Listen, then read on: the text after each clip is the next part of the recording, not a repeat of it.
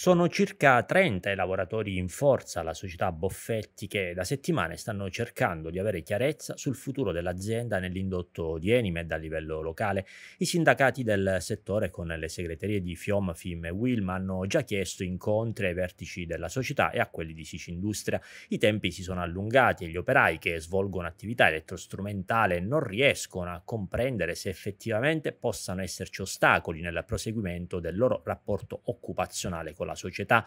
Da settimane si tenta di avere informazioni concrete, spiegano i segretari delle sigle sindacali del comparto di Caro, Pistritto e Calabrese. Da circa un mese si rincorrono infatti voci interne, spiegano i sindacalisti, rispetto proprio alle sorti dell'importante realtà aziendale. Secondo gli stessi sindacalisti si lasciano presagire nuovi scenari. I segretari quindi tornano a premere sulla necessità di un incontro urgente per dare certezze effettive. Ricordano di aver sempre avuto relazioni sindacali concrete con la proprietà di Boffetti. Il dubbio è che l'azienda possa perdere il contratto in essere con Eni, questo determinerebbe delle evidenti conseguenze anche su un piano strettamente occupazionale.